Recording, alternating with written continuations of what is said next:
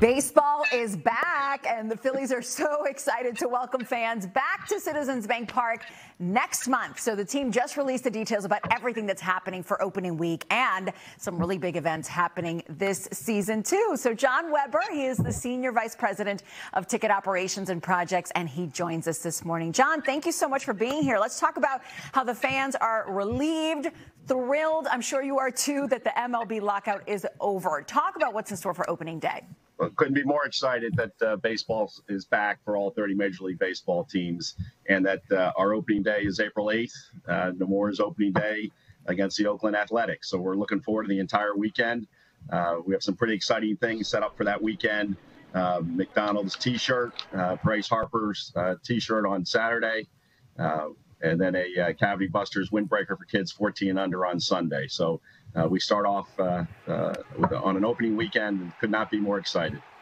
Talk about how you're honoring the 2021 MVP in a special way.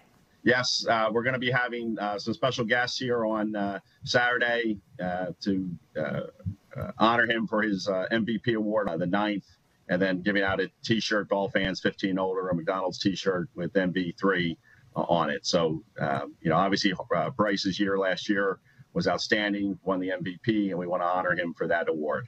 So you told us about the giveaways. Any other big promotions going on for the whole season? Oh, sure. We always, you know, try to have a great uh, lineup of promotions throughout the entire year. Uh, you know, our Hatfield Dollar Dogs will be back in uh, uh April and early May. Uh, we're giving out a Bryce Harper bobblehead um, on June 10th, uh, which will be, you know, exciting again for all of our fans to, to receive and of course our Xfinity fireworks shows on July 1st and July 3rd, um, right around Fourth of July. Sometimes we don't, we're not home around the fourth, but this year we are. So the first and the third will be our Xfinity fireworks shows, um, and we just have a really good schedule, a really good weekend schedule. Uh, during the whole season, mid uh, early May we have the Mets, uh, mid May we have the Dodgers, and then early June we have the Los Angeles Angels, Shohei Ohtani and Mike Trout coming back uh, to Philadelphia. So uh, a really good early season schedule.